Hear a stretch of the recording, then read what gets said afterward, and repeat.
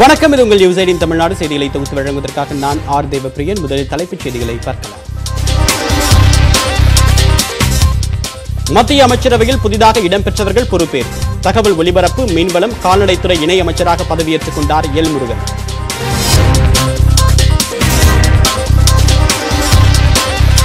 தமிழ்நாடு பாஜக தலைவராக அண்ணாமலை நியமனம் எல் முருகன் மத்திய அமைச்சராக பொறுப்பேற்ற நிலையில் ஜே பி நட்டா அறிவிப்பு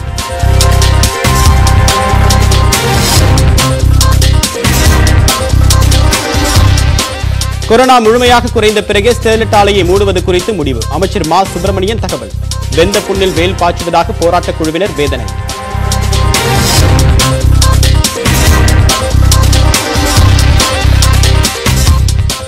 தூத்துக்குடி துப்பாக்கிச்சூடு தொடர்பாக நிலுவையில் உள்ள வழக்கில் சென்னை உயர்நீதிமன்றத்திற்கு மாற்றம் மதுரை கிளையிலிருந்து மாற்றம் செய்து நடவடிக்கை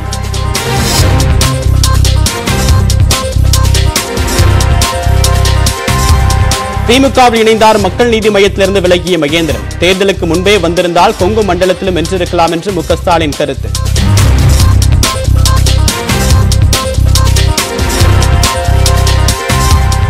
பெட்ரோல் டீசல் விலை உயர்வை கண்டித்து மாநிலம் முழுவதுமாக காங்கிரஸ் கட்சியினர் போராட்டம் நரேந்திர மோடியின் உருவம் குறித்த முகமூடியுடன் அல்வா கொடுத்து ஆர்ப்பாட்டம்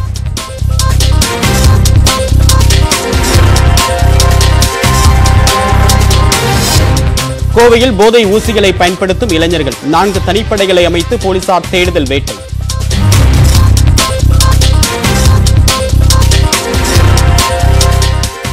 திருச்சி அருகே சானிடைசரில் அடுப்பு பற்ற வைத்த பதிமூன்று வயது சிறுவன் உடல் கருகி உயிரிழப்பு நண்பர்களுடன் கூட்டாஞ்சோறு சமைத்த போது நிகழ்ந்த விபரீதம்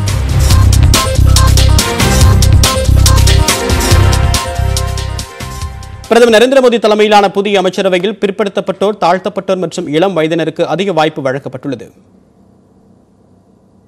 மத்திய அமைச்சரவையில் புதிதாக நாற்பத்தி மூன்று அமைச்சர்கள் பொறுப்பேற்றுள்ள நிலையில் இவர்களில் முப்பத்து ஆறு பேர் புதியவர்கள் ஆவர் ஏழு பெண்கள் புதிதாக இடம்பெற்றுள்ள நிலையில் அமைச்சரவையில் பெண்களின் மொத்த எண்ணிக்கை பதினொன்றாக உயர்ந்துள்ளது ஐம்பத்து நான்கு வயதான மீனாட்சி லேக்கிக்கு வெளியுறவுத்துறை மற்றும் கலாச்சார அமைச்சகத்தின் இணையமைச்சர் பொறுப்பு வழங்கப்பட்டுள்ளது நாற்பது வயதான மிர்சாபூர் எம்பி அனுப்ரியா பட்டேலுக்கு வணிக மற்றும் தொழில்துறை இணையமைச்சர் பதவி வழங்கப்பட்டுள்ளது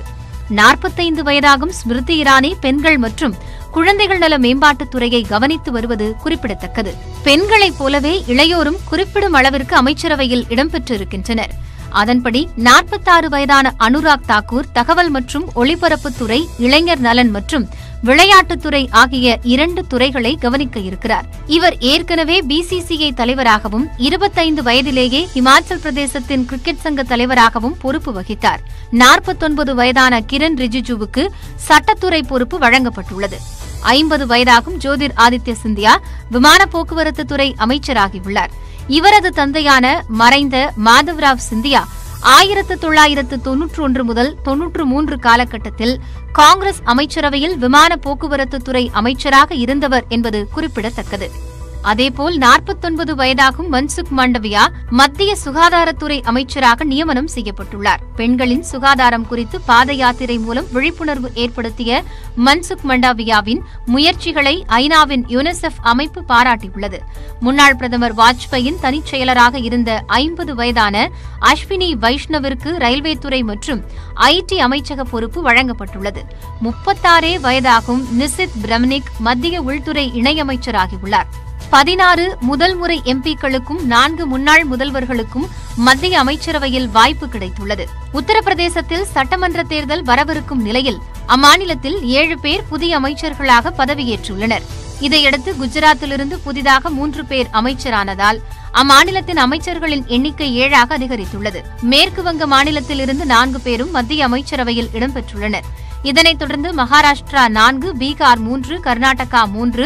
மத்திய பிரதேசம் இரண்டு ஒடிஷாவைச் சேர்ந்த இருவருக்கும் வாய்ப்பு வழங்கப்பட்டுள்ளது தமிழ்நாடு அசாம் இமாச்சல் பிரதேசம் மணிப்பூர் டெல்லி ராஜஸ்தான் திரிபுரா தெலங்கானா உத்தராகண்ட் ஜார்க்கண்ட் அருணாச்சல் பிரதேசம் ஆகிய மாநிலங்களில் தலா ஒருவருக்கு மத்திய அமைச்சர் பதவி வழங்கப்பட்டுள்ளது புதிய அமைச்சரவையில் பிற்படுத்தப்பட்டோர் பிரிவில் பதினைந்து மாநிலங்களைச் சேர்ந்த இருபத்தேழு பேர் இடம்பெற்றுள்ளனர் அதேபோல் தமிழ்நாடு உட்பட எட்டு மாநிலங்களில் இருந்து தாழ்த்தப்பட்டோர் சமூகத்தைச் சேர்ந்த பன்னிரண்டு பேருக்கு பிரதிநிதித்துவம் வழங்கப்பட்டுள்ளது முன்னெப்போதும் இல்லாத அளவிற்கு அருணாச்சல பிரதேசம் அசாம் உள்ளிட்ட எட்டு மாநிலங்களில் இருந்து பழங்குடியின சமூகத்தைச் சேர்ந்த எட்டு பேர் அமைச்சர்களாக பொறுப்பேற்றுள்ளனர் இவை தவிர மத சிறுபான்மையினரான இஸ்லாமியர்களில் ஒருவர் சீக்கியர்களில் ஒருவர் கிறிஸ்தவர்களில் ஒருவர் மற்றும் புத்த மதத்தைச் சேர்ந்த இருவர் என மொத்தம் ஐந்து பேர் மத்திய அமைச்சரவையில் இடம்பெற்றிருக்கின்றனர் மொத்தமுள்ள எழுபத்தேழு அமைச்சர்களில் நாற்பத்தேழு பேர் பிற்படுத்தப்பட்ட தாழ்த்தப்பட்ட மற்றும் பழங்குடியின சமூகத்தைச் சேர்ந்தவர்கள் ஆவர் மத்திய மீன்வளத்துறை தகவல் மற்றும் ஒலிபரப்புத்துறை இணையமைச்சராக எல் முருகன் பொறுப்பேற்றுக் கொண்டார் தமிழ்நாட்டின் வளர்ச்சிக்காக பணியாற்றுவேன் என்றும் அவர் உறுதிபட தெரிவித்துள்ளார் தொடர்ந்து இரண்டாவது முறையாக பொறுப்பேற்ற பிரதமர் மோடி தலைமையிலான மத்திய அமைச்சரவை முதல் முறையாக மாற்றி அமைக்கப்பட்டுள்ளது இதில் தமிழ்நாடு பாஜக தலைவராக பதவி வகிக்கும் எல் முருகனுக்கு இணையமைச்சர் பதவி வழங்கப்பட்டுள்ளது அவருக்கு மீன்வளம் கால்நடை வளர்ப்பு மற்றும் பால்வளத்துறையும் தகவல் மற்றும் ஒலிபரப்புத்துறை என இரண்டு இலாக்காக்கள் ஒதுக்கப்பட்டுள்ளன அதைத் தொடர்ந்து டெல்லி கிருஷ் பவனில் மீன்வளம் கால்நடை வளர்ப்பு மற்றும் பால்வளத்துறை இணை அமைச்சராக எல் முருகன் பொறுப்பேற்றுக் கொண்டார்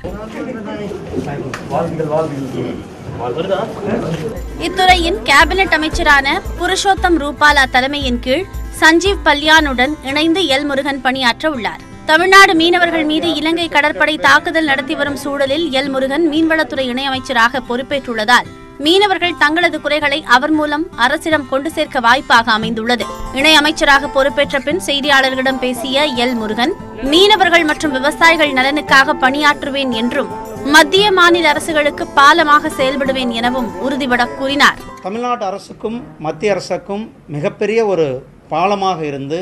தமிழ்நாட்டினுடைய வளர்ச்சி தமிழ்நாட்டினுடைய மேம்பாடு தமிழர் நலன் பேணுவதில் ஒரு இணைப்பு பாலமாக இருந்து என்னுடைய பணியை சிறப்பாக என்றது இந்த நேரத்தில் பொருட்படுத்த நேரத்தில் செயல்பட்டுருக்க மீன் வளத்தை பெருக்குவதற்கான துறை மீனவர்களினுடைய நலன் காப்பதில் எந்த சமரசமும் இல்லாமல் அரசாங்கம் செயல்படும் அதன் பின் பிற்பகலில் தகவல் மற்றும் ஒலிபரப்புத்துறை இணையமைச்சராகவும் பொறுப்பேற்றுக் கொண்டார் Congratulations. Thank you. Thank you மத்திய இணையமைச்சராக பொறுப்பேற்றுள்ள எல் முருகனுக்கு தமிழ்நாடு முதலமைச்சர் மு ஸ்டாலின் தொலைபேசி வாயிலாக வாழ்த்து தெரிவித்தார் இதேபோன்று எதிர்க்கட்சித் தலைவர் எடப்பாடி பழனிசாமி வெளியிட்டுள்ள டுவிட்டர் பதிவில் புதிய அத்தியாயத்தில் அடியெடுத்து வைத்துள்ள எல் முருகன் மக்கள் பணியில் சிறந்து விளங்க வாழ்த்துவதாக குறிப்பிட்டுள்ளார் தமிழ்நாடு பாஜக தலைவராக விருப்ப ஓய்வு பெற்ற எஸ் அதிகாரி அண்ணாமலை நியமிக்கப்பட்டுள்ளார் தமிழ்நாடு பாஜக தலைவராக இருந்த எல் முருகனுக்கு புதன்கிழமை நடைபெற்ற மத்திய அமைச்சரவை விரிவாக்கத்தில்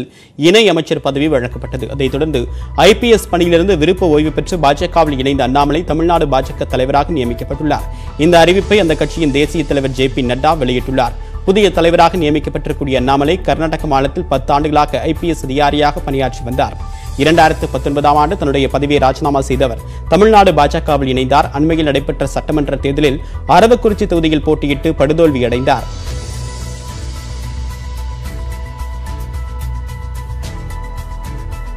அடுத்ததாக விரைவு செய்திகளை பார்க்கலாம் ஜம்மு காஷ்மீரில் கடந்த இருபத்தி நான்கு மணி நேரத்தில் ஐந்து பயங்கரவாதிகள் சுட்டுக் கொல்லப்பட்டனர் ஜம்மு காஷ்மீரின் புல்வாமா மற்றும் புசால் ஆகிய இடங்களில் பாதுகாப்பு படையினருக்கும் பயங்கரவாதிகளுக்கும் இடையே புதன்கிழமை இரவும் வியாழக்கிழமை அதிகாலியும் துப்பாக்கிச் சண்டை நடைபெற்றது இதில் அடையாளம் தெரியாத பயங்கரவாதிகள் இருவர் கொல்லப்பட்டனர் குல்காம் பகுதியில் போலீசாருடன் பாதுகாப்பு படையினர் நடத்திய தேடுதல் வேட்டையில் லஷ்கர் இ தொய்பா பயங்கரவாதிகள் இருவர் கொல்லப்பட்டனர் எந்த சேதமும் ஏற்படாமல் ஐந்து பயங்கரவாதிகளை சுட்டு வீழ்த்திய ஜம்மு காஷ்மீர் போலீசார் மற்றும் பாதுகாப்பு படையினருக்கு காஷ்மீர் ஐஜி விஜயகுமார் பாராட்டு தெரிவித்துள்ளார் மகாராஷ்டிராவில் கொரோனா தொற்று இல்லாத பகுதியில் ஜூலை பதினைந்தாம் தேதி முதல் பள்ளிகள் திறக்கப்படும் என்று அம்மாநில அரசு அறிவித்துள்ளது இது தொடர்பாக செய்தியாளர்களிடம் பேசிய அம்மாநில பள்ளிக்கல்வித்துறை அமைச்சர் மாணவர்களின் எதிர்காலம் கருதி முதற்கட்டமாக எட்டாம் வகுப்பு முதல் பன்னிரெண்டாம் வகுப்பு வரையிலான மாணவர்களுக்கு பள்ளிகள் அடுத்த வாரம் முதல் திறக்கப்பட உள்ளதாக தெரிவித்தார் அதற்கு முன்பு அனைத்து ஆசிரியர்களும் மற்றும் ஆசிரியர் அல்லாத அலுவலர்களும் தடுப்பூசி செலுத்தியிருக்க வேண்டும் என்றும் மகாராஷ்டிரா பள்ளிக்கல்வித்துறை அமைச்சர் வர்ஷா கெய்க்வாட் உத்தரவிட்டுள்ளார் இந்தியர் ஒருவரை அடுத்த எட்டு வாரங்களில் குறைத்தீர்க்கும் முழுநேர அதிகாரியாக நியமிக்க உள்ளதாக ட்விட்டர் நிறுவனம் டெல்லி உயர்நீதிமன்றத்தில் தெரிவித்துள்ளது புதிய தகவல் தொழில்நுட்ப சட்டப்படி ட்விட்டர் நிறுவனம் குறைதீர்க்கும் அதிகாரியை இந்தியாவில் நியமிக்காமல் உள்ளது இது தொடர்பான வழக்கு டெல்லி உயர்நீதிமன்றத்தில் நடைபெற்று வருகிறது வழக்கில் ஆஜரான மத்திய அரசு தரப்பு இந்தியாவின் புதிய தகவல் தொழில்நுட்ப சட்டங்களை ட்விட்டர் நிறுவனம் மதிக்கவில்லை என்று தெரிவித்தது கடந்த ஆறாம் தேதி நடந்த விசாரணையின் போது ட்விட்டர் நிறுவனத்திற்கு நீதிமன்றம் கண்டனம் தெரிவித்திருந்தது மேலும் இதற்கு பதிலளித்த ட்விட்டர் நிறுவனம் புதிய விதிகளின்படி புதிய குறைதீர்க்கும் அதிகாரி அடுத்த எட்டு வாரங்களில் நியமிக்க இருப்பதாகவும் இந்தியாவில் நிரந்தரமாக ஒரு அலுவலகத்தை திறக்க இருப்பதாகவும் உறுதியளித்துள்ளது இந்தியாவில் கொரோனா இரண்டாம் அலையின் போது நிலைமையை தமிழ்நாடு சிறப்பாக கையாண்டதாக உச்சநீதிமன்றம் பாராட்டியுள்ளது அரசு ஊழியர்களுக்கான புதிய மருத்துவ காப்பீடு தொடர்பான வழக்கு நீதிபதிகள் சந்திரசூட் எம் ஆர் ஷா அமர்வில் விசாரணைக்கு வந்தது காணொலி வாயிலாக நடந்த இந்த வழக்கின் போது தமிழ்நாட்டில் மருத்துவ கட்டமைப்பு சிறப்பாக இருப்பதாக நீதிபதி சந்திரசூட் பாராட்டு தெரிவித்தார் அரசு ஊழியர்களுக்கு வழங்கப்பட்ட கட்டணமில்லா மருத்துவ சேவைக்கு இன்சூரன்ஸ் நிறுவனமே பணம் தர வேண்டும் என்று ஏற்கனவே சென்னை உயர்நீதிமன்றம் தெரிவித்தது இதனை எதிர்த்து உச்ச உயர்நீதிமன்றத்தில் இன்சூரன்ஸ் நிறுவனம் சார்பில் மேல்முறையீடு செய்யப்பட்டது வழக்கை விசாரித்த போது நீதிபதிகள் தமிழகம் இரண்டாவது அலையை சிறப்பாக எதிர்கொண்டதாக புகழ்ந்தனர் மேலும் வழக்கு ஒத்திவைக்கப்பட்டது வளிமண்டல மேலடுக்கு சுழற்சியால் கோவை நீலகிரி தேனி வேலூர் ராணிப்பேட்டை திருவள்ளூர் திருவண்ணாமலை விழுப்புரம் மாவட்டங்களின் ஓரிரு இடங்களில் இடி மின்னலுடன் கனமழை பெய்யும் என சென்னை வானிலை ஆய்வு மையம் தெரிவித்திருக்கிறது ஏனைய மாவட்டங்கள் புதுச்சேரி காரைக்கால் பகுதிகளில் லேசானது முதல் மிதமான மழைக்கு வாய்ப்புள்ளது சென்னை நகரின் சில பகுதிகளில் இடி மின்னலுடன் லேசான மழை பெய்யும் என கணிக்கப்பட்டுள்ளது குமரிக்கடல் மன்னார் வளைகுடாவில் ஐம்பது கிலோமீட்டர் வேகத்தில் காற்று வீசும் என்பதால் ஒன்பது முதல் பன்னிரெண்டாம் தேதி வரை மீனவர்கள் அங்கு செல்ல வேண்டாம் எனவும் வானிலை ஆய்வு மையம் எச்சரித்துள்ளது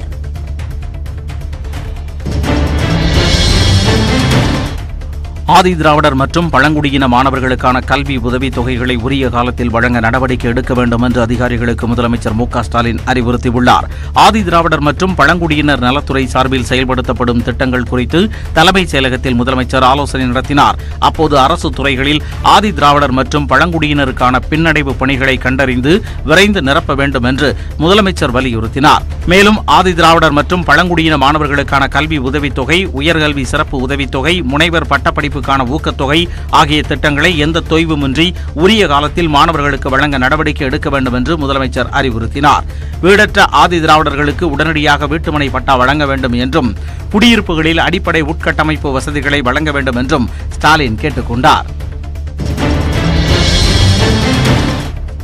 தமிழ்நாடு பாடநூல் நிறுவனம் மற்றும் கல்வியியல் பணிகள் கழகத்தின் தலைவராக திண்டுக்கல் ஐ லியோனி நியமிக்கப்பட்டதற்கு பாமக இளைஞரணி தலைவர் அன்புமணி ராமதாஸ் கடும் கண்டனம் தெரிவித்துள்ளார் இதுகுறித்து அவர் தனது டுவிட்டர் பக்கத்தில் இட்டுள்ள பதிவில் பெண்களை இழிவாக பேசுவதை லியோனி பிழைப்பாக கொண்டதாகவும் லியோனியை அப்பதவியில் நியமித்துள்ளதால் பதவியை மோசமாக அவமதிப்பு செய்துள்ளதாகவும் குறிப்பிட்டுள்ளார் பாடநூல் நிறுவன தலைவர் என்ற புனிதமான பதவியிலிருந்து லியோனியை நீக்கிவிட்டு தகுதியான கல்வியாளர் ஒருவரை அரசு அமர்த்த வேண்டும் என்று அன்புமணி ராமதாஸ் கேட்டுக் கொண்டுள்ளாா்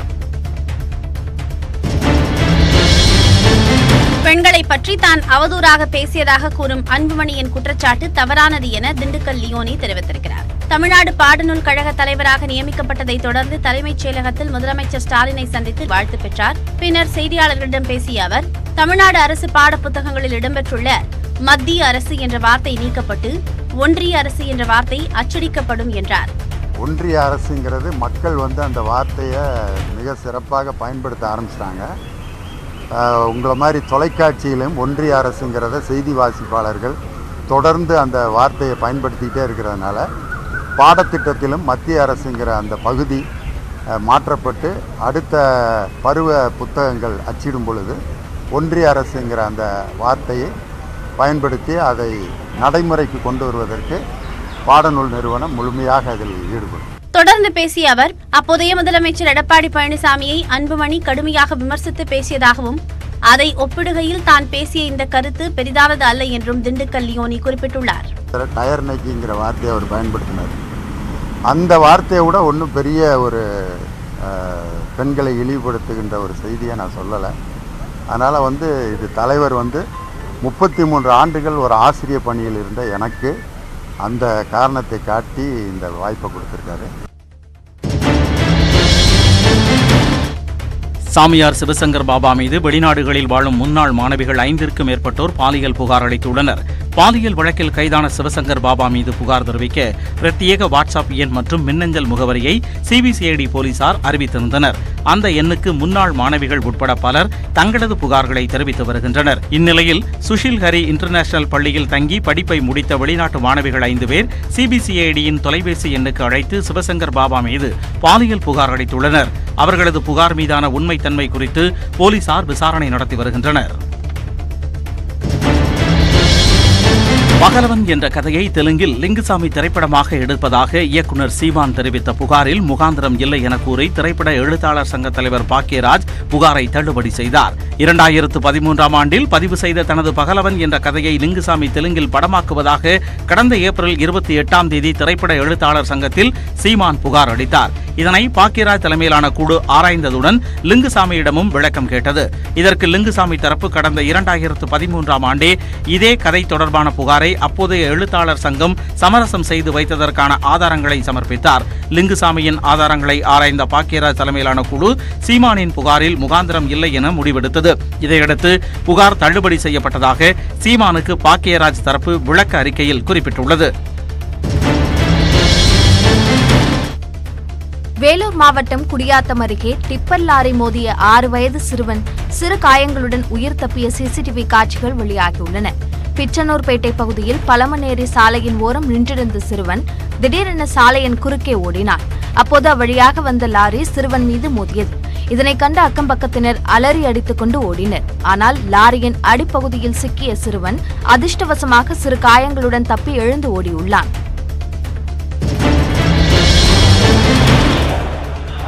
நெல்லையில் கண்களை கட்டிக்கொண்டு உலக சாதனைக்காக பல்வேறு யோகாசனங்களை செய்து அசத்திய பதினோரு வயது சிறுமிக்கு பாராட்டுகள் குவிகின்றன பாளையங்கோட்டை வண்ணாரப்பேட்டையைச் சேர்ந்த ஏழாம் வகுப்பு மாணவி பிரிஷா யோகாவில் இதுவரை நாற்பத்தோரு உலக சாதனைகளை புரிந்துள்ளார் மேலும் தமிழ்நாடு என்சிசி மாணவர்கள் மற்றும் காவல்துறையினருக்கு இலவசமாக யோகா வகுப்புகள் எடுத்து வருகிறார் இந்நிலையில் கண்களை கட்டிக்கொண்டு யோகாசனம் செய்தபடியே ரூபிக்ஸ் கியூப் சரி செய்வது அதிவேகமாக பிரெயின் வீட்டாவை சரி செய்வது உள்ளிட்ட சாதனைகளை செய்து அசத்தினார் இவை அனைத்தும் உலக சாதனை பதிவாக முடிவாக ஏற்றுக்கொள்ளப்பட்டது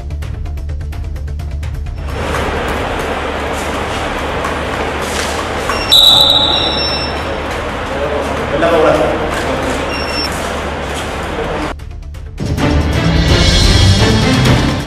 வேலூரில் கொரோனா தடுப்பூசி செலுத்திக் கொண்ட பிறகும் பெண் மருத்துவர் நோய் தொற்றால் உயிரிழந்த சம்பவம் அதிர்ச்சியை ஏற்படுத்தியுள்ளது வேலூர் சைதாப்பேட்டை நகர்ப்புற ஆரம்ப சுகாதார நிலையத்தில் ஹேமலதாய் மருத்துவராக பணியாற்றி வந்தார் இவர் முன்கள பணியாளர் என்ற அடிப்படையில் ஏற்கனவே தடுப்பூசியும் செலுத்திக் கொண்டார் அதன் பிறகு நோய் தொற்றால் பாதிக்கப்பட்டார் மருத்துவமனையில் அனுமதிக்கப்பட்ட ஹேமலதாவின் உடல்நிலை தொடர்ந்து மோசமடைந்தது கிட்டத்தட்ட ஒரு மாதத்திற்கு மேலாக முயற்சி செய்தும் சிகிச்சை பலனின்றி உயிரிழந்தார் நாற்பத்தி ஆறு வயதுடைய ஹேமலதாவுக்கு திருமண வயதில் ஒரு மகள் உள்ளார் கோவை மாவட்டம் மேட்டுப்பாளையம் சுற்றுவட்டாரத்தில் சுற்றி வந்த காட்டு யானையான பாகுபலி மேலும் இரு யானைகளுடன் இணைந்து சுற்றி வருவதால் ரேடியோ காலர் பொருத்தும் பணி மேலும் தாமதமாகும் சூழல் ஏற்பட்டுள்ளது கடந்த ஒன்றரை ஆண்டுகளாக விவசாய பயிர்களை சேதப்படுத்தி வரும் பாகுபலியை பிடிக்க வனத்துறையினர் பலமுறை முயற்சித்தும் அது போக்கு காட்டி வந்தது கடந்த இருபத்தி ஆறு முதல் இருபத்தெட்டாம் தேதி வரை ரேடியோ காலர் பொருத்த வனத்துறையினர் முயன்றபோதும் சாமார்த்தியமாக தப்பிய யானை தற்போது மேலும் இரு ஆண் காட்டு யானைகளுடன் சுற்றி வருகிறது மேட்டுப்பாளையம் கல்லார் சாலை பாக்க வடக்கு தோப்புகள் சமயபுரம் குடியிருப்பு பகுதிகளில் வட்டமடிக்கும் இந்த மூன்று யானைகளை வனத்துறையினர் கண்காணித்து வருகின்றனர் ராணிப்பேட்டை மாவட்டம் பாலாஜாபேட்டை அருகே சாலைபுரம் கவிழ்ந்த லாரியில் இருந்து முட்டைகோசுகளை பொதுமக்கள் எடுத்துச் சென்றனர் ஆந்திர மாநிலம் சித்தூரிலிருந்து சென்னை நோக்கி முட்டைகோசுகளை ஏற்றி சரக்கு லாரி ஒன்று சென்று கொண்டிருந்தது வன்னிவேடு அருகே திடீரென கட்டுப்பாட்டை இழந்த லாரி சாலைபோர பள்ளத்தில் கவிழ்ந்தது இந்த விபத்தில் ஓட்டுநர் ராமாஞ்சி உயிரிழந்தார் தகவல் அறிந்த காவலர்கள் உடலை மீட்டு மருத்துவமனைக்கு அனுப்பி வைத்தனர் விபத்திற்குள்ளான லாரியில் இருந்து சிதறி கிடந்த முட்டைகோசுகளை அங்கிருந்து பொதுமக்கள் அள்ளிச் சென்றனர் தங்கள் நிறுவனத்திற்கு செலுத்த வேண்டிய நிலுவைத் தொகையை வசூலிக்கும் முயற்சியாக பிரான்ஸ் தலைநகர் பாரிஸில் உள்ள இருபது இந்திய சொத்துக்களை கேன் நிறுவனம் முடக்கியுள்ளது எண்ணெய் வாங்கியது தொடர்பான வழக்கில் கேன் நிறுவனத்திற்கு இந்தியா பனிரெண்டாயிரத்து எழுநூற்று ஏழு கோடி ரூபாய் பணம் பாக்கியை செலுத்தும்படி சர்வதேச தீர்ப்பாயம் உத்தரவிட்டுள்ளது இதன் முதல் கட்டமாக சொத்துக்களை முடக்கும் முயற்சியை அந்நிறுவனம் தொடங்கியுள்ளது இதற்கான ஒப்புதலை பிரான்ஸ் நீதிமன்றமும் கடந்த பதினொன்றாம் தேதி அடித்தது ஏற்கனவே இந்தியா செலுத்த வேண்டிய நிலுவைத் தொகைக்கு ஈடாக ஏர் இந்தியாவின் சில சொத்துக்களையும் கேர் நிறுவனம் முடக்க முயற்சி செய்தது ஏர் இந்தியா விற்பனையில் பின்னடைவை ஏற்படுத்தியது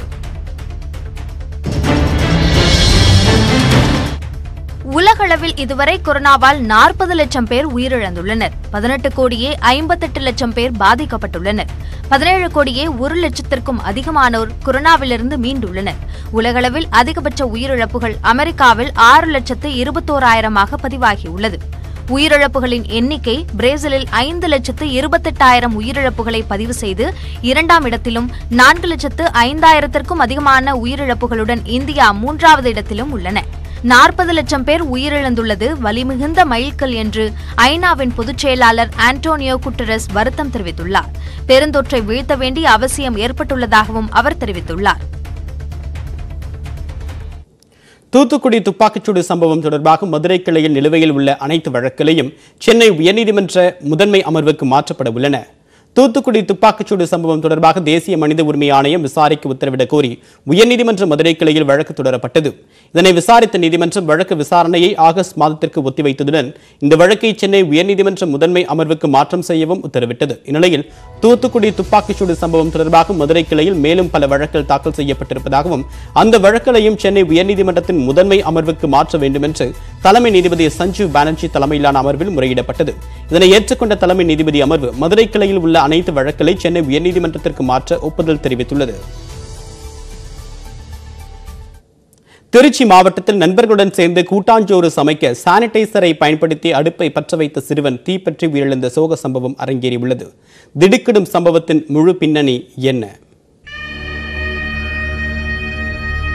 கை சுத்தம் செய்யும் கிருமி நாசினியை கொண்டு அடுப்பை பற்ற வைக்க நினைத்த சிறுவன் தீப்பற்றி எரிந்து உயிரிழந்துள்ளார் நடந்தது என்ன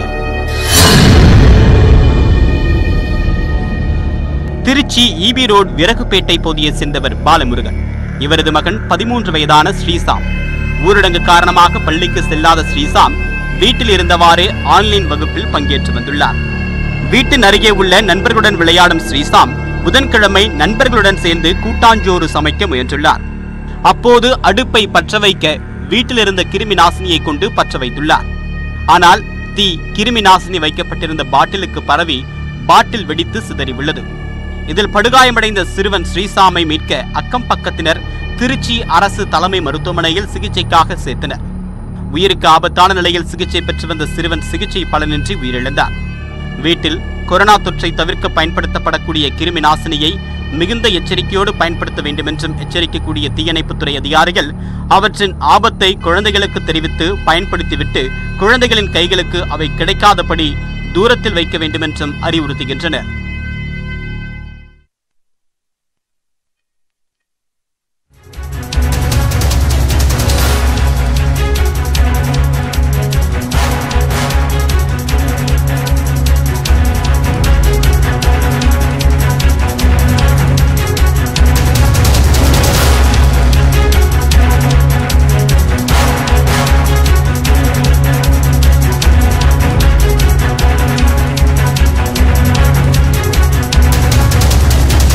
நீட் தேர்வு குறித்து ஆராய குழு அமைத்தது அதிகார வரம்பு மீறல் என்று தற்போது மத்திய அரசு கருத்து தெரிவித்திருக்கிறது தமிழகத்தில் நீட் தேர்வு அமல்படுத்தப்பட்ட பிறகு ஏற்பட்ட பாதிப்புகள் குறித்து ஆராய்வதற்காகவும் நீட் தேர்வினால் ஏற்பட்டக்கூடிய தாக்கம் குறித்து ஆராய்வதற்காகவும் ஏ கே ராஜன் தலைமையிலான குழுவை அமைத்து தமிழக அரசு உத்தரவிட்டிருந்தது அது தொடர்பாக பாஜகவை சேர்ந்த முக்கிய நிர்வாகி கரு நாகராஜன் சென்னை உயர்நீதிமன்றத்தில் வழக்கு தொடுத்திருந்தார் ஆனால் இது அரசியல் லாபத்திற்காகவும் ஒரு விளம்பரத்திற்காகவும் தாக்கல் செய்யப்பட்ட மனு அதனை தள்ளுபடி செய்ய வேண்டும் என்று ஏற்கனவே சுகாதாரத்துறை செயலாளர் ராதாகிருஷ்ணன் தரப்பில் தமிழக அரசு சார்பாக சென்னை உயர்நீதிமன்றத்தில் பதில் மனு என்பது தாக்கல் செய்யப்பட்டிருந்தது இந்த நிலையில் தற்போது மத்திய அரசு தன்னுடைய கருத்தை தெரிவித்திருக்கிறது நீட் தேர்வு குறித்து ஆராய குழு அமைத்தது அதிகார வரம்பு மீறல் என்றும் நீட் தேர்வு தாக்கம் குறித்து ஆய்வு செய்ய தமிழக அரசால் குழு அமைக்க முடியாது என்றும் தற்போது உத்தரவை பிறப்பித்திருக்கிறது இது தொடர்பான கூடுதல் தகவலோடு இணைகிறார் நம்முடைய செய்தியாளர் மதன் மதன் விவரம் என்ன தற்போது மத்திய அரசு இந்த கருத்தை எங்க சொல்லியிருக்காங்க ஏன் அதனுடைய நிலைப்பாடு இந்த விஷயத்துல மாற்றா இருக்கிறதா தமிழக அரசு கருதணும்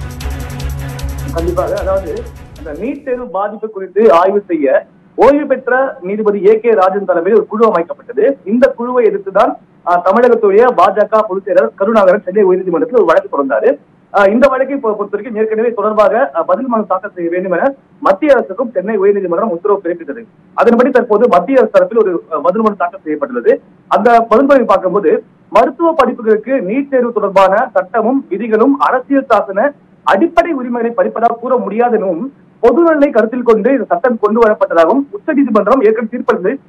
சுட்டிக்காட்டப்பட்டுள்ளது அது மட்டும் இல்லாமல் நீட் தேர்வு தொடர்பான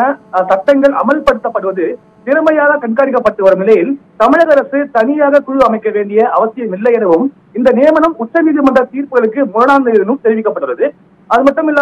மாநில அரசு சம்பந்தப்பட்ட விஷயங்கள் மட்டும் விசாரணை ஆணையம் அமைத்துக் கொள்ள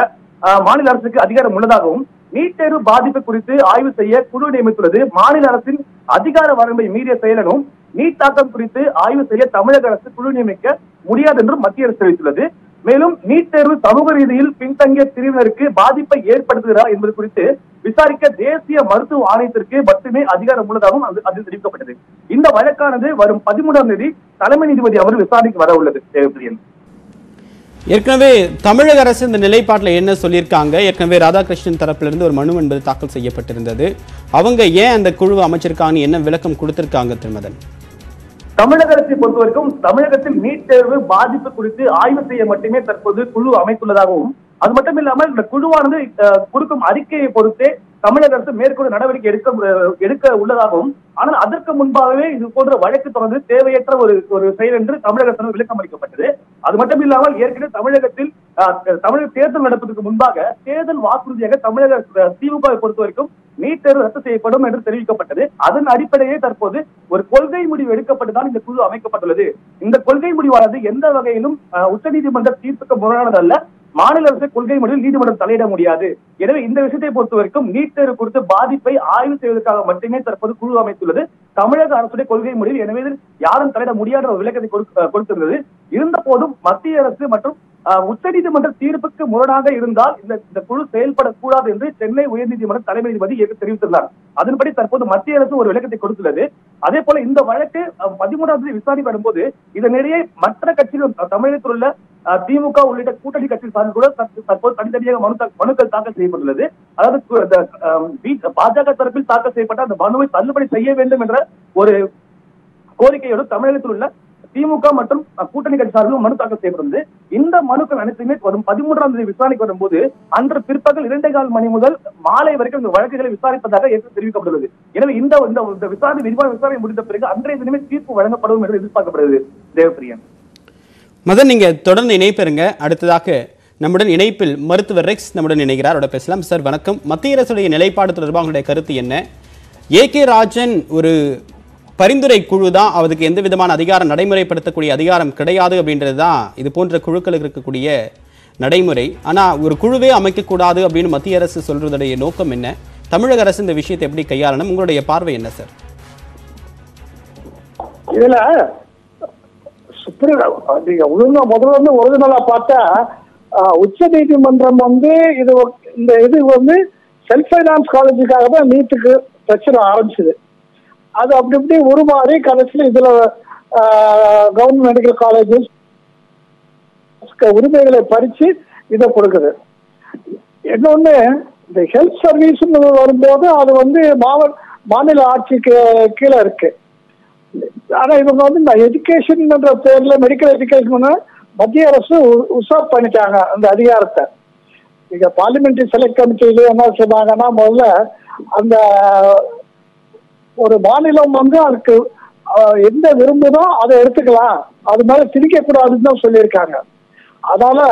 இந்த மாநில அரசுக்கு வந்து ஒரு கமிஷன் வைக்கிறது இதை பத்தி ஸ்டடி பண்றதுக்கு வைக்கிறது அப்படின்னு சொல்ற மத்திய அரசு சொல்றது மிகவும் தவறு அரசியல் சட்டத்துக்கு எதிரானது அதனால அதுக்கு வந்து எப்படி சொல்ல முடியாது மாநில அரசுக்கு எல்லா உரிமையா இருக்கு அவங்க ஒரு கமிஷன் வச்சிருக்காங்க அந்த கமிஷன்னால அது இது வந்து ஒரு ஹெல்த் சிஸ்டத்தையே இது பண்ணுது வெறும் கல்வி மட்டும் இல்ல மருத்துவத்துறை சுகாதாரத்துறை எல்லாத்தையும் வந்து ஒரு நோக்கி இணைத்து பாதிக்கக்கூடியது அதனால மாநில அரசுக்கு எல்லா உரிமையும் இருக்கு அதனால மத்திய அரசு வந்து அப்படி சொல்றது தவறு மத்திய அரசு சொல்கிறது தவறுன்னு சொல்லியிருக்கீங்க ஆனால் ஏற்கனவே உச்சநீதிமன்றம் ஒரு தெளிவான ஒரு கைட்லைன்ஸை கொடுத்துருக்காங்க நீட் தேர்வு கட்டாயம் பின்பற்றப்படணும் அவங்க எல்லா தரப்பு வாதத்தையும் கேட்டு நூற்றுக்கும் மேற்பட்ட வழக்குகளுடைய விசாரணை முடிஞ்சு தான் அந்த தீர்ப்பு கொடுத்துருக்காங்க ஆனால் இப்போ உச்சநீதிமன்றத்துடைய அனுமதி இல்லாமல் இந்த வழிகாட்டுதல் குழுவை இல்லை ஆலோசனை குழுவை போட்டிருக்கிறது அப்படின்றது மாநில அரசு தனிச்சு எடுத்து வர முடிவாக தெரியலையா இது மத்திய அரசோட கலந்து ஆலோசிச்சிருக்க தேவையில்லையா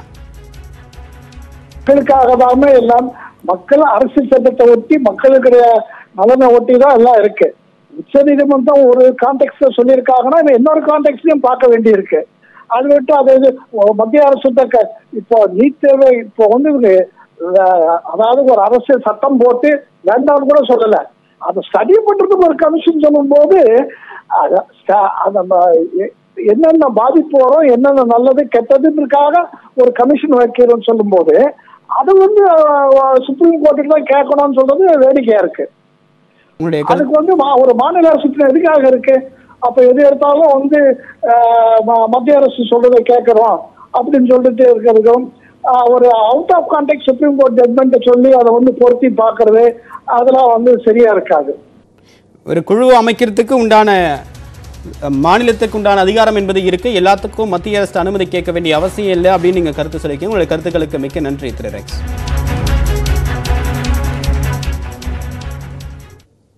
மற்ற செய்திகளை ஒரு சிறு இடைவெளிக்கு பிறகு பார்க்கலாம்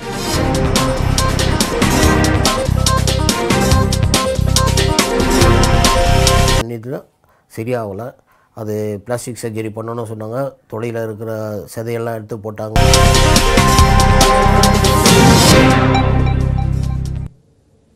மக்கள் நீதி மய்யம் கட்சியிலிருந்து விலகிய அந்த கட்சியின் துணைத் தலைவர் மகேந்திரன் திமுகவில் இணைந்துள்ளார் இணைப்பு நிகழ்ச்சியில் பேசிய முதலமைச்சரும் திமுகவின் தலைவருமான மு ஸ்டாலின் மகேந்திரன் போன்றோர் முன்னரே வந்திருந்தால் கோவையில் பெரிய வெற்றியை பெற்றிருக்கலாம் என்று கூறியுள்ளார்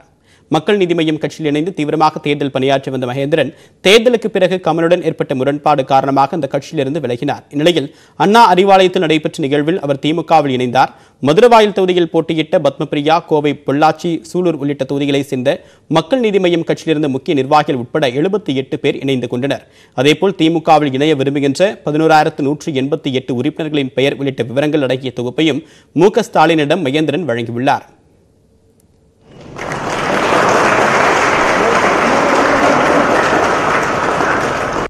நிகழ்வின் போது பேசிய முதலமைச்சர் மு ஸ்டாலின் தேர்தல் அறிவிப்பு வரும்போதே எதிர்பார்த்ததாகவும் மகேந்திரன் லேட்டாக வந்தாலும் லேட்டஸ்டாக வந்திருப்பதாக கூறியுள்ளார் தேர்தலுக்கு முன்னரே மகேந்திரன் திமுகவில் இணைந்திருந்தால் கோவையில் மிகப்பெரிய வெற்றியை பெற்றிருக்க முடியும் என்றும் அவர் தெரிவித்தார் எனக்கு என்ன தேர்தலுக்கு முன்னாடி ஒரு சம்பவம் நடந்திருந்தா கோவையில் ஒரு பெரிய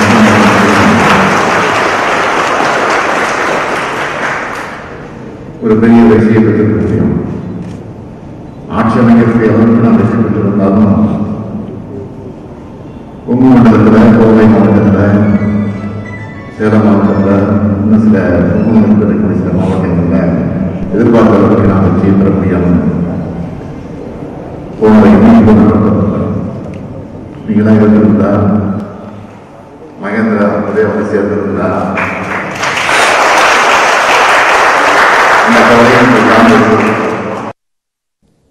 திமுகவிற்கும் மக்கள் நீதி மையத்திற்கும் கொள்கையில் பெரிய வேறுபாடு இல்லை என்றும் செயல்பாட்டில்தான் பெரிய வித்தியாசம் உள்ளது என்று மகேந்திரன் கூறியுள்ளார் அவருடன் நம்முடைய செய்தியாளர் தமிழரசு நடத்திய கலந்துரையாடலை பார்க்கலாம் திமுகவில் இணைந்திருக்கீங்க இது எப்படி உணர்றீங்க இன்னொன்று கமலஹாசன் நீங்கள் வெளியே வந்தப்போ மக்கள் நீதி மையத்திலேருந்து வெளியே வந்தப்போ கட்சிக்கு துரோகம் செஞ்சுட்டு வெளியே போயிட்டாருன்னு சொன்னீங்க இப்போ அதை நியாயப்படுத்துகிற மாதிரி இதாயிருக்கா அதாவது ஒரு இயக்கத்தில் ஒரு அரசியல் இயக்கம் இருக்கலாம் அல்லது ஒரு குறிப்பிட்ட மதத்தில் இருக்கலாம் அதில் வந்து நமக்கு ஈடுபாடு இல்லைன்னா வெளியில் வர்றது துரோகம்னா அப்போ அவர் செய்கிறதெல்லாம் துரோகம்னு சொல்ல முடியுமா அப்படி இல்லை அவருடைய நிலைப்பாட்டுக்கும் அவருடைய செயல்பாட்டுக்கும் எனக்கு விருப்பம் இல்லைன்னு சொல்லிட்டு வர்றது எனக்கு நான் சொல்றதெல்லாம் சரின்னா நீ நல்லாவே இல்லைன்னு துரோகம்னா அவர் நிறைய பேர்த்துக்கு பட்டம் கொடுக்கணும் ஒரு பல ஆயிரம் பேர்த்துக்கு கொடுக்க வேண்டும் பாருங்க இந்த பதினோராயிரத்தி நூத்தி எட்டு பேர்த்துக்கு கொடுக்கணும் அதே பட்டத்தை சித்தாந்தம் கொள்கை செயல்பாடு அனைத்த அனை அனைத்தும் நான் ஈர்க்கப்பட்டு இந்த திமுக இணைஞ்சிருக்கேன்னு சொன்னீங்க உங்களுடைய செயல்பாடு எப்படி இருக்கும் கட்சியில் என்னுடைய செயல்பாடு முதல் மாதிரியே முதல் மாதிரியே மக்களிடம் போய் சேவை செய்து அவருடைய ஆதரவு கட்சிக்கு எடுத்துக்கு வா வாங்கி கொடுக்கணுங்கிறது என்னுடைய முதல் கட்ட வேலையாக இருக்கும் இப்போ கொங்கு மண்டலத்தில் குறிப்பாக இன்று முதல்வர் குறிப்பிட்டு பேசுகிறப்ப கூட சொன்னார் தோல்வி அடைஞ்சது வருத்தம் தான் அப்படின்னாரு உங்களுடைய வருகை அப்படிங்கிறது கொங்கு மண்டலத்துக்கு எந்த அளவுக்கு பலத்தை சேர்க்கும் நான் என்ன பேலன்ஸ் சேர்த்துன்னு நான் சொல்ல விருப்பப்படல நான் முதல்ல போய் களத்தில் வேலை செய்து பலம் சேர்க்க வேண்டியதான் என்னுடைய பொறுப்பாக இருக்கணும்னு நான் நினைக்கிறேன் இப்போ லேட்டாக வந்தாலும் இதேபோன்று திருநெல்வேலி முன்னாள் மேயரும் மாநிலங்களவை முன்னாள் உறுப்பினருமான விஜிலா சத்யானந்த் திமுகவில் இணைந்தார் பிறகு நியூஸ் தொலைக்காட்சிக்கு பேட்டியளித்தவர் அதிமுகவில் பெண்கள் ஒதுக்கப்படுவதாகவும் ஆள் சேர்க்க மட்டுமே பயன்படுத்தப்படுவதாகவும் விமர்சித்தார் தான் திமுகவில் இணைந்தது பாடமாக அமையும் என்றும் விஜிலா சத்யானந்த் தெரிவித்துள்ளார் பெண்களுக்கு முக்கியத்துவம் தருகின்ற இந்த இயக்கம் எனக்கு மிகவும் பிடித்திருக்கிறது அதே போல ஒரு திராவிடன் உண்மையான திராவிடன்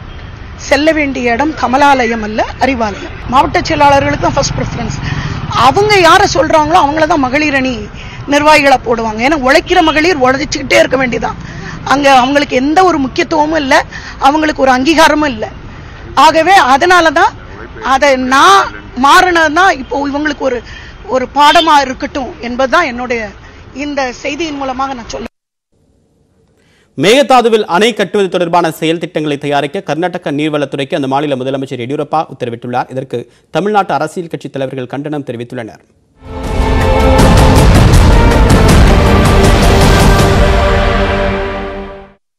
மேகதாதுவில் அணை கட்டும் கர்நாடக அரசின் முயற்சிக்கு தமிழ்நாடு அரசு கடும் கண்டனம் தெரிவித்து வருகிறது இது தொடர்பாக அறிக்கை வெளியிட்டிருந்த தமிழக நீர்வளத்துறை அமைச்சர் துரைமுருகன் மேகதாதுவிலோ அல்லது வேறு எந்த பகுதியிலோ அணை கட்டுவதற்கு கர்நாடக அரசு மேற்கொள்ளும் முயற்சிகளை தமிழக அரசு கடுமையாக எதிர்க்கும் என்றார் இந்த நிலையில் மேகதாது அணை கட்டுவது தொடர்பான செயல் திட்டத்தை தயாரிக்க கர்நாடக நீர்வளத்துறை அதிகாரிகளுக்கு முதலமைச்சர் எடியூரப்பா உத்தரவிட்டுள்ளதாக அம்மாநில சட்டத்துறை அமைச்சர் பசவராஜ் பொம்மை தெரிவித்துள்ளார் மேலும் அணை கட்ட விரைவில் மத்திய அரசிடம் ஒப்புதல் பெறப்படும் எனவும் குறிப்பிட்டார் இதனிடையே செய்தியாளர்களுக்கு பேட்டியளித்த கர்நாடக துணை முதல்வர் அஸ்வத் நாராயணா காவிரியின் குறுக்கே மேகதாது அணை கட்டும் திட்டத்தை கர்நாடக அரசு உறுதியாக நிறைவேற்றும் என்றார் ಪ್ರಾರಂಭ ಮಾಡಬೇಕು ಅನ್ನೋಂಥ ಭಾಳ ಸ್ಪಷ್ಟವಾದಂಥ ಉದ್ದೇಶ ನಮ್ಮ ಸರ್ಕಾರಕ್ಕಿದೆ ಈ ದಿಕ್ಕಿನಲ್ಲಿ ಏನು ಒಂದು ಎನ್ ಜಿ ಟಿ ಮತ್ತು ಎನ್ವೈರ್ನ್ಮೆಂಟಲ್ ಡಿಪಾರ್ಟ್ಮೆಂಟ್ ಕ್ಲಿಯರೆನ್ಸಿಗಾಗಿ ಪ್ರಸ್ತಾವನೆ ಇಲಾಖೆಯಲ್ಲಿ ಇರೋವಂಥದ್ದಿದೆ ಅದು ಕ್ಲಿಯರ್ ಆದಂಗೆ ಇದನ್ನು ಪ್ರಸ್ತಾವನೆ ಕ್ಲಿಯರ್ ಮಾಡಿದ ತಕ್ಷಣವೇ ನಮ್ಮ ಸರ್ಕಾರದಲ್ಲಿ ತಕ್ಷಣವೇ ಕೈಗೆತ್ಕೊಂಡು ಈ ಕಾರ್ಯಕ್ರಮವನ್ನು ಈ ಯೋಜನೆಯನ್ನು ಕಾರ್ಯರೂಪಕ್ಕೆ ತರೋಕ್ಕೆ ಸರ್ಕಾರ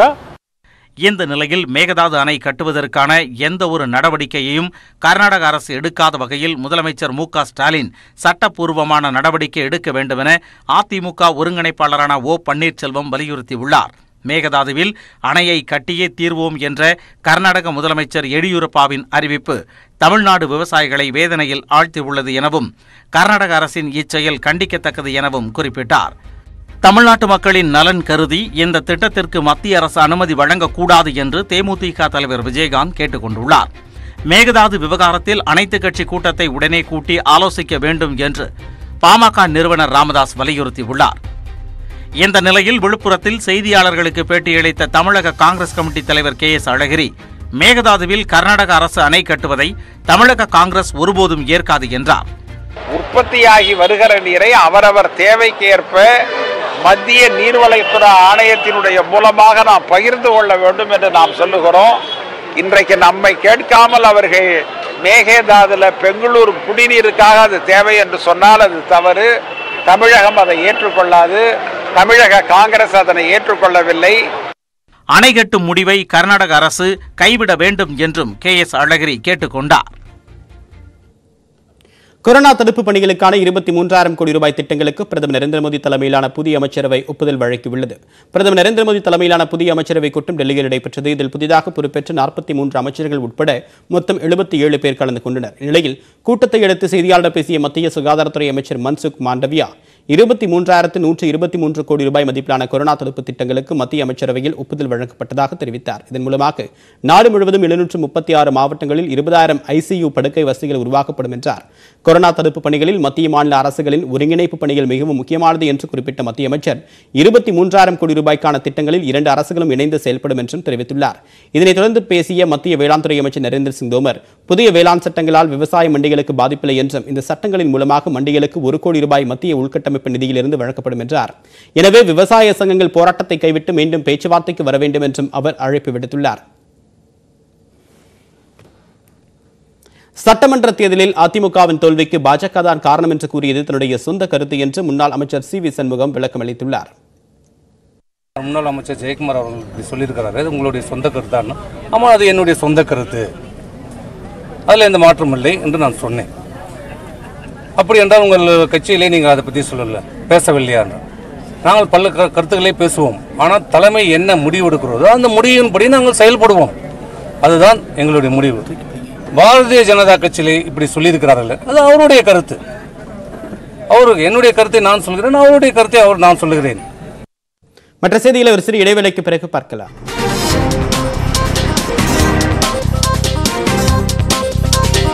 இதே போல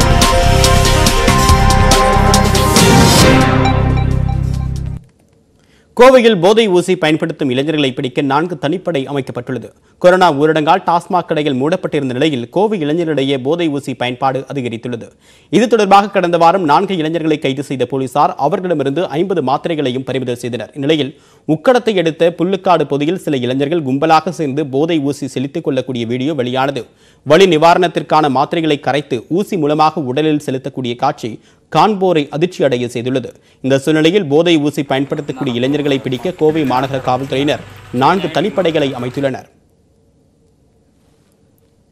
போதைக்காக மாத்திரையை பொடியாக்கி நரம்பில் ஏற்றுவது மூலமாக இரத்த குழாய் மற்றும் நுரையீரல் பாதிப்பு ஏற்படலாம் என்று மருத்துவர்கள் எச்சரிக்கின்றனர் போதை ஊசி மூலமாக அலர்ஜி ஏற்பட்டு ரத்தம் உறைந்து போகலாம் என்று கூறக்கூடிய மருத்துவர்கள் இந்த பழக்கத்திற்கு அடிமையாகி மனநிலை பாதித்து கோமா நிலைக்கு செல்லக்கூடிய நிலை ஏற்படலாம் என்றும் எச்சரிக்கின்றனர் ஒன்று அலர்ஜிக் ரியாக்ஷன் ஆகலாம் இல்லை ரத்த குழாய் அடைக்கலாம் இல்லை ரத்த குழாய் அடைச்சி அங்கேருந்து வந்து ஏதாவது கிளாட் மாதிரி ஃபார்ம் ஆகி ஒன்று அடிக்கலாம் இல்லை நுரையீரலுக்கு அடிக்கலாம் அந்த மாதிரி நிறையா ப்ராப்ளம்ஸ் இருக்குது அதே மாதிரி லாங் டேர்ம் காம்ப்ளிகேஷன்ஸ் பார்த்திங்கன்னா இதே ப பழகினாங்கன்னா அடிக்ஷன் அதாவது போதைக்கு மாத்திரைக்கு அடிமையாகிடலாம் அதனால் என்ன ஆகும்னா மனநிலை பாதிக்கப்படலாம் கோமாவில் போகலாம் சிலர் மாறி மாறி பேசலாம் சென்னையில் மூன்று நாட்களுக்கு பிறகு கொரோனா தடுப்பூசி செலுத்தக்கூடிய பணி தொடங்கியுள்ளதால் பொதுமக்கள் ஏராளமானவர்கள் ஆர்வத்தோடு வரிசையில் காத்திருந்து தடுப்பூசி செலுத்திக் கொண்டு வருகின்றனர் தடுப்பூசி தட்டுப்பாடு காரணமாக சென்னையில் கடந்த ஐந்தாம் தேதி முதல் மூன்று நாட்களுக்கு தடுப்பூசி போடும் பணி நிறுத்தப்பட்டது இந்நிலையில் மத்திய தொகுப்பிலிருந்து தமிழகத்திற்கு நேற்று ஒரு லட்சத்து ஐம்பதாயிரம் தடுப்பூசிகள் அனுப்பி வைக்கப்பட்டன இதன் காரணமாக சென்னை மாநகராட்சிக்குட்பட்ட பகுதிகளில் இன்று முதல் மீண்டும் தடுப்பூசி போடப்படும் என்று அறிவிக்கப்பட்டது இதையடுத்து தடுப்பூசி போட்டுக் கொள்வதற்காக சென்னை கோடம்பாக்கத்தில் உள்ள கொரோனா தடுப்பூசி மையத்தில் அதிகாலையிலேயே பொதுமக்கள் ஏராளமானவர்கள் குவிந்தனர் இருப்பினும் முதல் நூறு பேருக்கு மட்டுமே டோக்கன்கள் வழங்கப்பட்டன இதனால் மற்றவர்கள் ஏமாற்றத்தோடு திரும்பிச் சென்றனர் பெட்ரோல் டீசல் விலை உயர்வை கண்டித்து தமிழ்நாடு முழுவதுமாக காங்கிரஸ் கட்சியினர் போராட்டத்தில் ஈடுபட்டனர் தமிழ்நாடு முழுவதும் பெட்ரோல் விலை நூறு ரூபாயை கடந்து விற்பனையாகி வருகிறது டீசல் மற்றும் சமையல் எரிவாயு விலையும் ராக்கெட் வேகத்தில் உயர்ந்து வருவதை கண்டித்து தமிழ்நாடு காங்கிரஸ் கமிட்டியினர் போராட்டத்தில் ஈடுபட்டனர் மயிலாடுதுறையில் எம்எல்ஏ ராஜ்குமார் தலைமையில் ஆர்ப்பாட்டம் நடைபெற்றது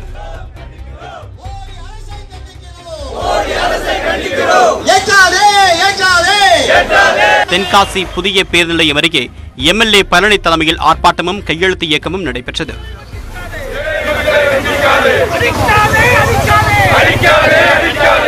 ராமநாதபுரம் நகர காங்கிரஸ் கமிட்டியினர் அடுப்பு மற்றும் விறகுடன் போராட்டத்தில் ஈடுபட்டனர்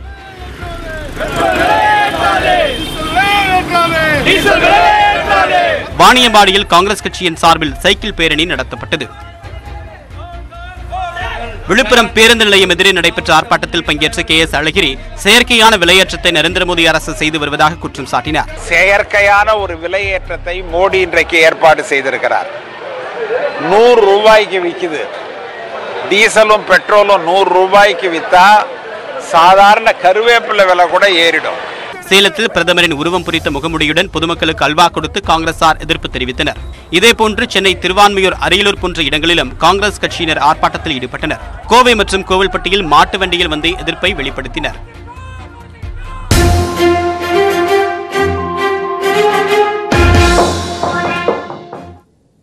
ஸ்டெர்லைட் ஆலையில் தற்போது ஆக்சிஜன் உற்பத்தி செய்யப்பட்டு வரக்கூடிய சூழ்நிலையில் ஆலையை மூட வேண்டிய அவசரம் இல்லை என்று மக்கள் நல்வாழ்வுத்துறை அமைச்சர் மா சுப்பிரமணியன் கூறியுள்ளார் சென்னையில் செய்தியாளர் சந்தித்த அமைச்சர் கரும்பூஞ்சி நோய்க்கு தமிழ்நாட்டில் மூவாயிரத்து ஐநூற்று தொன்னூற்று ஆறு பேர் பாதிக்கப்பட்டிருப்பதாக தெரிவித்தார் டெங்கு காய்ச்சலுக்கு ஜனவரி முதல் தற்போது வரை இரண்டாயிரத்து தொன்னூறு பேர் பாதிக்கப்பட்டிருப்பதாகவும் தமிழ்நாட்டில் தொள்ளாயிரம் மெட்ரிக் டன் ஆக்சிஜன் கையிருப்பில் உள்ளது என்றும் அமைச்சர் மா சுப்பிரமணியன் தெரிவித்துள்ளார் மத்திய அரசிடமிருந்து இதுவரை ஒரு கோடி ஐம்பத்தி ஒன்பது லட்சத்து இருபத்தி ஆறாயிரத்து ஐம்பது தடுப்பூசிகளை பெற்றிருப்பதாக கூறிய அமைச்சர் இதுவரை ஒரு கோடி ஐம்பத்தி ஒன்பது லட்சத்து ஐம்பத்தி எட்டாயிரத்து நானூற்று இரண்டு தடுப்பூசிகள் செலுத்தப்பட்டிருப்பதாகவும் தெரிவித்துள்ளார் தற்போது ஒரு லட்சத்து எழுபத்தி நான்காயிரத்து எழுநூற்று முப்பது தடுப்பூசிகள் கையிருப்பில் உள்ளதாகவும் அவர் குறிப்பிட்டுள்ளார்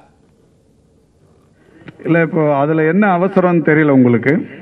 ஏன்னா இப்போ இன்னும் கொரோனா முடியலையே மூவாயிரத்து முந்நூற்று முந்நூறு பேருக்கு பாசிட்டிவ் நேற்றுக்கு வரைக்கும் இருக்குது ஏன் உடனடியாக மூணுன்னு நினைக்கிறீங்க இப்போ ஏதாவது இந்த தொற்றோட எண்ணிக்கை ஜீரோவுக்கு வரட்டுமே வந்ததுக்கு அப்புறம் அதை பற்றி யோசிப்போமே இல்லை மூணாவது அறை வேறு வேறு வரும்ன்ற பயம் இருக்குது அதனால் அதை பற்றி ஏன் அவ்வளோ அவசரமாக யோசிக்கணும் நம்ம தொற்று முற்றுக்கு வரட்டும் ஆக்சிஜன் உற்பத்தி பண்ணின்னு இருக்கிறாங்க நம்ம வாங்கி ஸ்டோர் பண்ணுறோம் அது வரட்டுமே நல்லது நடக்கட்டுமே ஏன் அது போய் இப்போ உடனே போய் மூடணும்னு நினைக்கிறோம் ஸ்டெர்லைட் ஆலையில் மருத்துவ ஆக்சிஜன் உற்பத்திக்கு கால நீட்டிப்பு வழங்குவது வெந்த புண்ணில் வெயில் பாய்ச்சக்கூடிய செயல் என்று ஸ்டெர்லைட் ஆலை எதிர்ப்பு மக்கள் கூட்டமைப்பினர் கண்டனம் தெரிவித்துள்ளனர் கொரோனா நோயாளிகள் வந்து மிகவும் வந்து குறைஞ்சிட்டாங்க இந்த நேரத்தில் வந்து ஆக்சிஜனுக்காக வந்து ஸ்டெர்லைட்டை வந்து மீண்டும் வந்து கால நீட்டிப்பு பண்ணணும் அப்படின்றது வந்து வெந்த புண்ணில் வந்து வேல்பாய்ச்சும் செயல் போன்றது திமுக வந்து பண்ணுறது இதை வந்து நாங்கள் மிகவும் வன்மையாக கண்டிக்கிறோம் ஏற்கனவே தமிழக அரசும் மாவட்ட தலைமை மருத்துவமனைகளில் வந்து ஆக்சிஜன் பிளான்ட்டுகளை வந்து அமைச்சிருக்கிறாங்க இருக்கிறாங்க இந்த சூழ்நிலை இது ஒன்று தான் ஆக்சிஜன் உற்பத்திக்கு வந்து ஸ்டெர்லைட் பிளான்ட் ஒன்று தான் உகந்தது அப்படின்றத வந்து இதை வந்து ஃபோக்கஸ் பண்ணுறதுல வந்து மிகப்பெரிய சதி இருக்குது அப்படின்றத நாங்கள் பார்க்குறோம் நீ அடுத்ததாக விரைவு செய்திகளை பார்க்கலாம்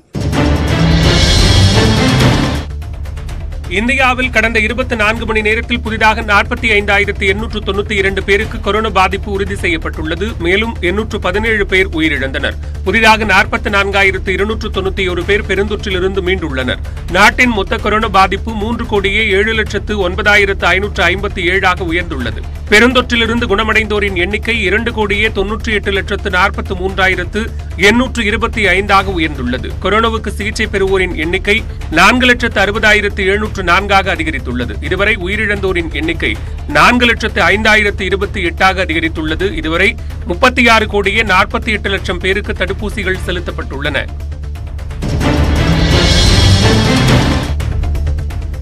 கொரோனா தொற்றால் பாதிக்கப்பட்டு இறந்தவர்களுக்கு உரிய முறையில் இறப்பு சான்றுகளை வழங்குவதை உறுதி செய்ய வேண்டும் என்று தமிழ்நாடு அரசுக்கு சென்னை உயர்நீதிமன்றம் உத்தரவிட்டிருக்கிறது கொரோனாவால் உயிரிழந்தவர்களுக்கு அதற்கான சான்றிதழ் வழங்கப்படாததால் அவர்களது குடும்பத்தினரால் உரிய நிவாரண உதவிகளை பெற முடியவில்லை என்று சென்னை உயர்நீதிமன்றத்தில் மனு தாக்கல் செய்யப்பட்டது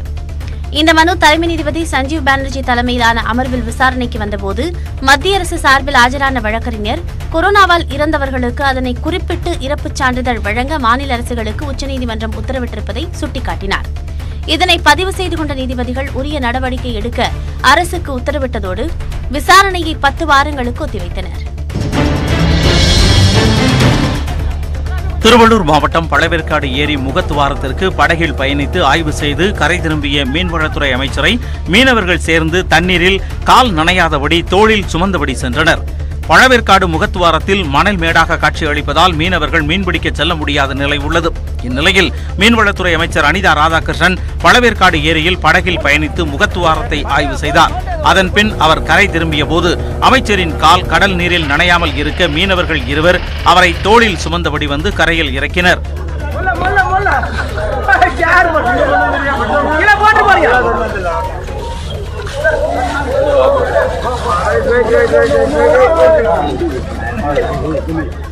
அமைச்சரின் வெள்ளை நிற காலனி தண்ணீரில் நனையாமல் இருக்கவே அவரை மீனவர்கள் தோளில் சுமந்து செல்வதாக குற்றச்சாட்டு எழுந்த நிலையில் அன்பு மிகுதியால் மீனவர்கள் தன்னை தூக்கிச் சென்றதாக அமைச்சர் விளக்கமளித்துள்ளார் சென்னையில் இன்று முதல் மெட்ரோ ரயில் சேவை நேரம் நீட்டிக்கப்பட்டுள்ளது காலை மற்றும் மாலை நேரங்களில் அதிக அளவில் மெட்ரோ ரயில்களை இயக்க வேண்டும் என்று பொதுமக்கள் தொடர்ந்து கோரிக்கை விடுத்திருந்தனர் இதனை ஏற்ற சென்னை மெட்ரோ ரயில் நிர்வாகம் இன்று முதல் காலை ஆறு முப்பது மணிக்கு பதிலாக அதிகாலை ஐந்து முப்பது மணிக்கே மெட்ரோ ரயில் சேவை தொடங்கப்படும் என்று தெரிவித்துள்ளது காலை ஐந்து முப்பது மணிக்கு தொடங்கும் ரயில் சேவை இரவு ஒன்பது மணி வரை இயக்கப்படும் என்று மெட்ரோ ரயில் நிர்வாகம் குறிப்பிட்டுள்ளது இது தவிர கூட்ட நெரிசல் மிகுந்த நேரங்களான காலை எட்டு மணி முதல் பதினோரு மணி வரை ஐந்து நிமிட இடைவெளியில் ரயில்கள் இயக்கப்படும் என்றும் அதேபோன்று மாலை ஐந்து மணி முதல் இரவு எட்டு மணி வரை ஐந்து நிமிட இடைவெளியில் மெட்ரோ ரயில்கள் இயக்கப்படும் என்றும் கூறப்பட்டுள்ளது மற்ற நேரங்களில் பத்து நிமிடங்களுக்கு ஒருமுறை ரயில் இயக்கப்படும் என மெட்ரோ ரயில் நிர்வாகம் தெரிவித்துள்ளது சென்னை ராயப்பேட்டை அரசு மருத்துவமனையில் நடிகர் விஜயின் பிகில் படத்தை காட்டி பத்து வயது சிறுவனுக்கு சிகிச்சை அளிக்கப்பட்டது இருசக்கர வாகனத்தில் சென்றபோது கீழே விழுந்ததில் மயிலாப்பூரை சேர்ந்த சிறுவனுக்கு தலையில் காயம் ஏற்பட்டது ராயப்பேட்டை மருத்துவமனையில் தையல் போட முயன்றபோது சிறுவன் அழுது அடம் பிடித்துள்ளார் அப்போது அவனுக்கு ஆறுதலாக பேச்சு கொடுத்த மருத்துவர் உனக்கு பிடித்த நடிகர் யார் என்று கேட்க விஜய் என்று பதிலளித்துள்ளார் சிறுவன் அதனைத் தொடர்ந்து பிகில் படம் செல்போனில் காட்டப்பட மகிழ்ச்சியுடன் சிகிச்சைக்கு ஒத்துழைப்பு கொடுத்துள்ளார் நடிகர் பிடிக்கும் அப்படின்னு போயிருக்கும்போது அவன் அவன் வந்து கொஞ்சம் அமைதியாகிட்டு எனக்கு விஜய் பிடிக்கும் விஜய் படத்தில் என்ன படம் என்ன படம் உங்களுக்கு பிடிக்கும்னு கேட்கும்போது பிகில் என்ற படம் பிடிக்கும் அப்படின்னு சொல்லும்போது நான் அருகில் இருந்த ஒரு தன்னார்வ சமூக உதவியாளர் ஒருவர் அவர்கள் பிகில் படத்தை தன்னுடைய செல்ஃபோனில் போட்டு போது மாணவனுடைய திசை திருப்பி அந்த நேரத்தில் மருத்துவர்கள் அவனுக்கு ஊசி போட்டு மூன்று தையல்களை போட்டு நல்லபடியாக வீட்டுக்கு அனுப்பி வைத்தார் இந்தியாவிற்கு எதிரான நடவடிக்கைகளை உடனடியாக கைவிட வேண்டும் என்று இலங்கை நாடாளுமன்றத்தில் எம்பி ஸ்ரீதரன் வலியுறுத்தியுள்ளார் சீன கம்யூனிஸ்ட் கட்சியின் நூறாவது ஆண்டு விழாவை ஒட்டி இணையம் வழியாக இலங்கை பிரதமர் மஹிந்த ராஜபக்சே நேற்று உரையாற்றினார் அப்போது சீனாவே தன்னுடைய உண்மையான நண்பன் என்றும் இனி ஆசியாவின் எழுச்சியை சீனாவை வழிநடத்தும் என்பதுதான் யதார்த்தம் என்றும் கூறியிருந்தார் இலங்கை அரசு ஆயிரத்தி தொள்ளாயிரத்தி ஐம்பத்தி ஏழாம் ஆண்டிலேயே சீனாவுடன் ராஜதந்திர உறவுகளை ஏற்படுத்தியதாக கூறிய ராஜபக்சே சீனா இலங்கை இடையிலான உறவை அங்கீகரிக்கக்கூடிய பொருட்டு நினைவு நாணயத்தையும் வெளியிட்டார் இந்நிலையில் இலங்கை நாடாளுமன்றத்தில் உரையாற்றிய எம்பி ஸ்ரீதரன் யாழ்ப்பாணம் தீவு பகுதிகளை நோக்கி சீனா பாகிஸ்தான் நிறுவனங்கள் அடியெடுத்து வைப்பதாக குற்றம் சாட்டியுள்ளார் அண்மையில் யாழ்ப்பாணம் வந்த பாகிஸ்தான் தூதர் மண்டைத்தீவு அல்லைப்பிட்டி பகுதிகளை பார்வையிட்டிருப்பது சந்தேகத்தை ஏற்படுத்துவதாகவும் கூறிய ஸ்ரீதரன் இலங்கை அரசின் இந்த நடவடிக்கையில் தமிழ் மக்களை பெரும் இன்னலுக்கு ஆளாக்கும் என்றும் எத்தனை பிரச்சனைகள் என்றாலும் தங்கள் தொப்புள் கொடி உறவான இந்தியாவுடன் தான் ஈழத்தமிழர்கள் துணை நிற்பார்கள் என்றும் அவர் கூறியுள்ளார் மேலும் அன்பு செய்திகளுக்கு தொடர்ந்து